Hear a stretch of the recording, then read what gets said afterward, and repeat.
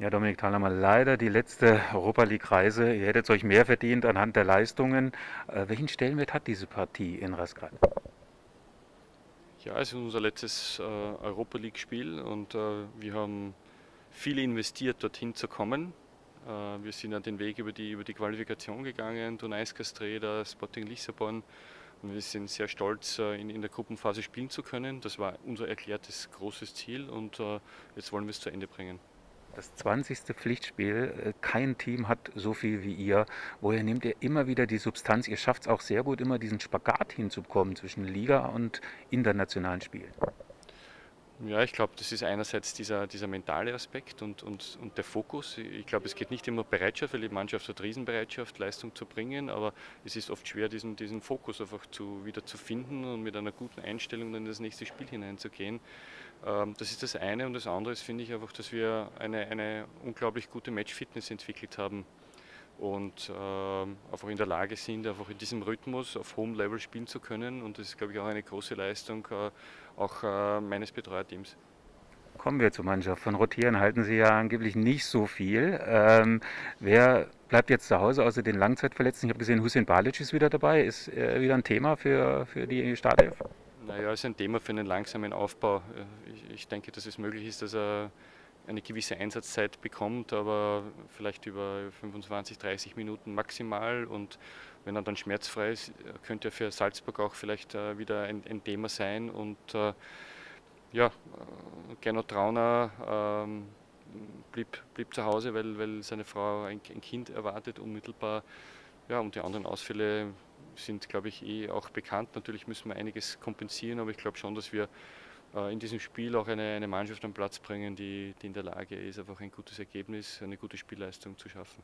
Das heißt, James Holland, der ja wirklich eine hervorragende Leistung geboten hat, auf einer für ihn ja neuen Position in der Innenverteidigung, wird wieder diese Position, also dem, dem Part, die Position von Gernot Trauner einnehmen? Voraussichtlich nicht. Ähm, ich denke, dass wir vor allem in dem Spiel jetzt sehr wenig Alternativen auf der Sechserposition haben und äh, dass James dort eine wichtige Rolle einnimmt, äh, auch unter taktischen Aspekten, weil die auf eine gewisse Art und Weise spielen müssen und der Sechser da eine, eine große Rolle spielt und äh, wir werden da eine andere Lösung in der, in der Innenverteidigung wählen. Äh, abschließende Frage, also man hat jetzt die Bulgaren vor der Brust sozusagen, im Hinterkopf schon Salzburg. Wie weit spielt dieses Spiel schon eine Rolle für die morgige Partie? Salzburg. Gar nicht, gar nicht. Also wir wie gesagt, wir wollen mit der besten Mannschaft spielen und äh, ich denke einfach, eine gute Spielleistung Performance äh, bringt uns Kraft für das, für das kommende Spiel und äh, wir wollen uns einfach ähm, so aus der Euroleague verabschieden, wie wir es äh, aus äh, meiner Sicht oder unserer Sicht einfach verdient haben. Und, und das ist unsere Aufgabe, die Euroleague einfach gut zu spielen, weil wir einfach so viel dafür unternommen haben, dort spielen zu dürfen und jetzt bringen wir es, wie gesagt, zu Ende. Viel Erfolg dabei, auch richtigen Dank. Ja, Marvin Pottmann, mit welchen Gefühlen fährt man in das letzte Europa League-Spiel? Ja, mit Vorfreude sage ich jetzt einmal. Europa League ist immer was Einzigartiges, was Schönes, was man sich hart erarbeitet hat und ich glaube, dementsprechend fährt man auch mit solchen Gefühlen dorthin. Und äh, persönlich, was rechnet ihr euch aus? Man, ihr seid ja richtige Mentalitätsmonster, nehmt jedes Spiel ernst. Also bei euch gibt es ja eigentlich gar nicht mal, dass man so ein bisschen runtergeht von der Anspannung. Nein, ich glaube, wir wollen jedes Spiel gewinnen den Anspruch haben wir selber an uns. Klar ist nicht immer einfach und auch schwierig, aber ja, wir gehen in jede Partie eine einfach mit 100 Prozent und, und dass wir da drei Punkte holen. Wie geht es dir persönlich, auch gesundheitlich? Du hast ja auch ein schwieriges Jahr gehabt. Definitiv mit der Verletzung und dann mit dem Coronavirus leider auch noch. War sicher nicht einfach für mich, aber jetzt bin ich zum Glück hundertprozentig wieder gesund und ja, jetzt geht es aufwärts. Wie ist das jetzt? Ähm, den bulgarischen Gegner vor der Brust und im Hinterkopf Salzburg?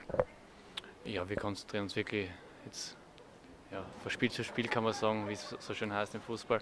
Aber bei uns ist es dann wirklich so, es ist jeder Gegner wichtig und wie gesagt, vorher auch schon gesagt, diese Europa League-Spiele haben uns hart erarbeitet, auch wenn wir jetzt mehr keine Aufstiegschancen haben. Trotzdem ist es immer was Spezielles und Einzigartiges für einen Fußballer, wenn man da international spielen darf. Du hast ja jetzt das erste Jahr auch schon miterlebt in der Europa League, jetzt das zweite. Habt ihr da nochmal einen Sprung gemacht, auch in puncto Reife, Abgeklärtheit? Ja, ich glaube im ersten Jahr war es ähm, doch nochmal ein bisschen was anderes, weil es einfach das erste Mal war für viele Spieler, einfach von Euphorie und allem drum und dran. Und ja, es ist von der Reife überhaupt, muss man sagen, sicher. Man lernt bei solchen Spielen einfach irrsinnig viel dazu, ähm, was Zweikampfverhalten, was Spielintensität und was auch der Fokus hast. Und ja, es tut einfach im Verein gut. Ich glaube, ganz Österreich tut es gut, wenn da viele Vereine international vertreten sind, weil es eben auch von hohen Qualität spricht. Dankeschön.